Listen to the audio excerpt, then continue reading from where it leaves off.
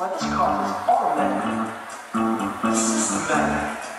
Ah.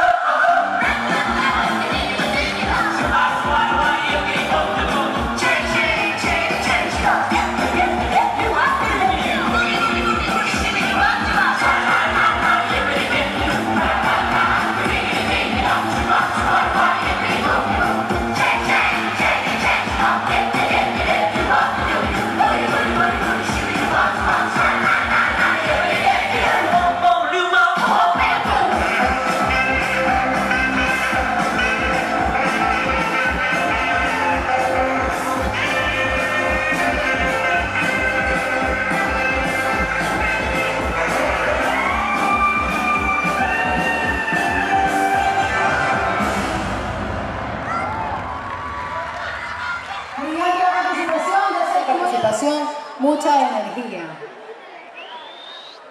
Ya vamos a los estudiantes de noveno.